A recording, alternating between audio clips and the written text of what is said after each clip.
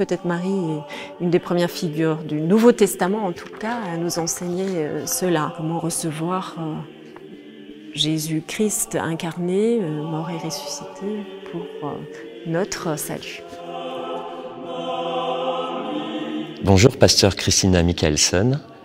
Merci de nous faire entrer derrière les portes d'un patrimoine protestant à redécouvrir, l'église Saint-Jean, l'église luthérienne qui se situe dans un petit écrin de verdure à deux pas des Invalides, à Paris, blotti dans un parc.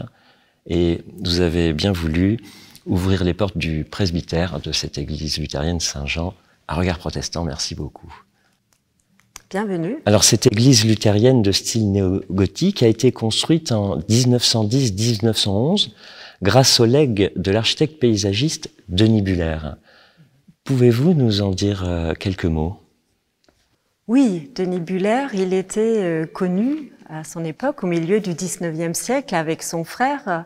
C'était paysagiste architecte et notamment sollicité pour faire des grands parcs, des, aménager des parcs publics. La plus connue, c'est celle de Lyon, la Tête d'Or. Et aujourd'hui, euh, au milieu euh, du petit square de la rue Amélie à côté des Invalides, donc ce temple luthérien euh, de style néo-gothique, est-ce qu'il y a des particularités dans ce temple que vous appréciez tout particulièrement? Oui, en entrant, la première chose qui est frappante, c'est tout le bois, le travail des, bancs, du plafond en, carène. Euh, et sinon les vitraux, bien sûr aussi, qui datent de, la construction de l'église. Et c'est vrai que sur euh, les vitraux, des, sur les côtés, il y a aussi des figures féminines. Et c'est assez rare euh, de voir dans un temple protestant en France euh, des vitraux de, de la Vierge Marie avec l'enfant Jésus.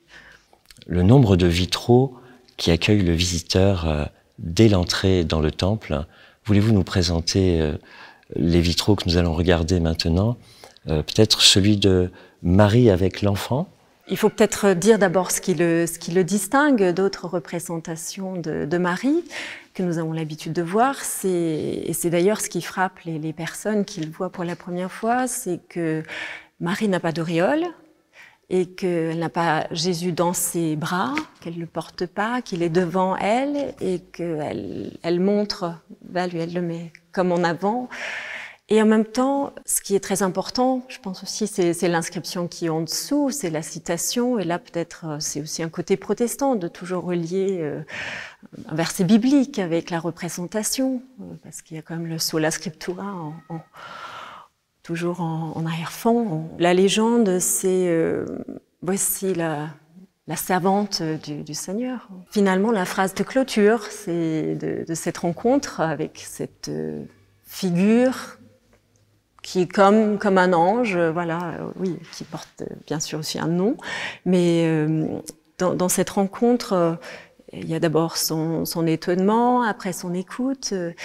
Elle est assez concrète, elle est aussi un côté premier degré aussi dans, dans la manière dont elle reçoit cette, euh, cette annonce de, de l'enfant qu'elle va porter.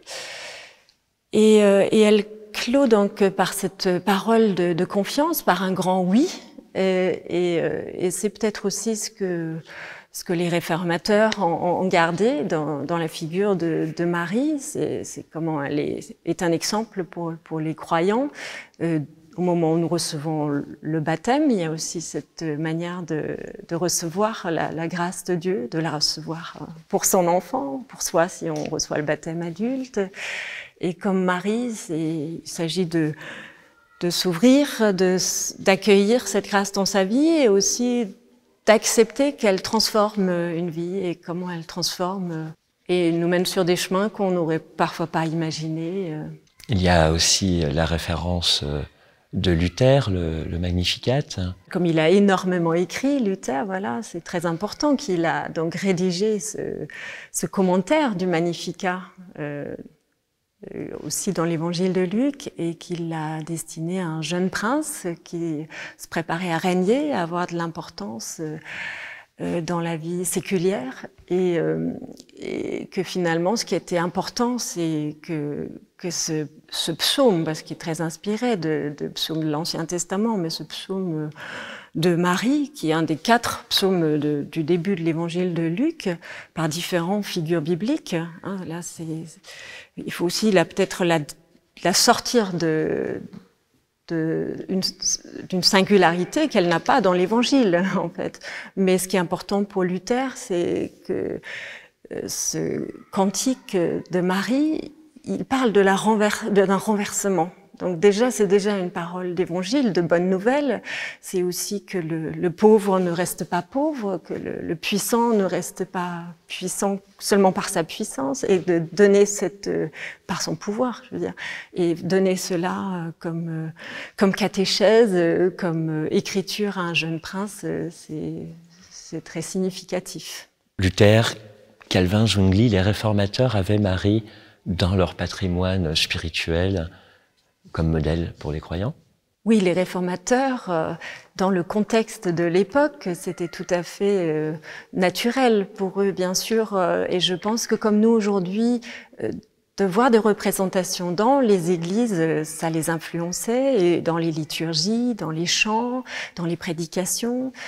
Et euh, c'est seulement à partir de, bien sûr, de, de tout le XVIe siècle, et de, finalement des discussions confessionnelles et, les, les, débats, les conflits, euh, que le mouvement de la réforme a pris ses distances par rapport à Marie, et souvent pour se démarquer, mais bien sûr qu'il y a aussi des, des raisons ecclésiologiques et théologiques. Moi aussi, la figure de Marie, c'est déjà la figure d'une personne qui reçoit une parole. Donc elle reçoit le Christ, le Logos, bien sûr, c'est l'incarnation. Hmm, donc c'est très chargé théologiquement, mais je pense que pour nous aujourd'hui aussi quelque chose de, de, très simple dans cette euh, réception d'une parole et qui peut nous arriver euh, dans notre vie quotidienne, qui peut nous arriver quand nous venons euh, au culte. mais ce que ce qui m'a marqué, euh, d'ailleurs, euh, dans les lieux de culte danois, parce que je, viens du Danemark, c'est que très souvent les églises sont plus anciennes euh, que, la réforme et que par l'architecture même des églises et leur, décoration, leur patrimoine religieux, il y a des figures de, Marie et ça veut dire que dans la, la, réception de la parole, elle a été présente à travers les siècles. Et je pense qu'aujourd'hui, pour beaucoup, Marie est aussi une figure de, de la mère de la foi, de quelque chose de l'ordre de la foi qui, qui, peut naître en chacun. Pour moi, euh, Marie, une parole reçue, euh, c'est cette foi reçue et, euh, et même si France Linard ne parle pas de, de, Marie directement dans l'avenir des églises protestantes, euh, à cette page que je vais citer, euh, je vais quand même, euh, voilà, je vais vous, vous citer, c'est la page 297. La foi est une audace et rien ni personne ne peut la dispenser de son caractère d'acte libre, de foi envers et contre tout. Le croyant croit toujours malgré le scandale et le paradoxe que représente le sujet de la foi, Dieu qui se donne en Jésus crucifié. Et peut-être que Marie, euh, ça c'est mon commentaire, c'est comme ça que je l'entends, peut-être Marie est une des premières figures du Nouveau Testament, en tout cas, à nous enseigner euh, cela. Euh, comment recevoir Jésus-Christ incarné, mort et ressuscité pour notre salut. Merci, pasteur. Merci, Christina Michaelson. L'église Saint-Jean, l'église luthérienne Saint-Jean ne restera pas dans le Paris secret. Elle ouvre ses portes pour les journées du patrimoine. Oui, comme chaque année, on ouvre l'après-midi, euh, voilà. Cette année seulement le dimanche, donc le dimanche 22 septembre, parce qu'il y aura une célébration, une bénédiction de mariage euh, le, samedi 21 septembre. Et euh, et donc c'est vraiment l'occasion de venir euh, découvrir cet intérieur et poser des questions. Il y aura des personnes qui feront aussi des, des visites euh, un peu guidées pour ceux qui ont des questions à poser. Il y aura, ils seront guidés. Et pour la découvrir, c'est possible toute l'année à l'occasion de l'office du dimanche. Voilà. Chaque dimanche. Chaque dimanche avec la Sainte Seine, quand il y a un pasteur ordonné, et, et c'est à 10h30.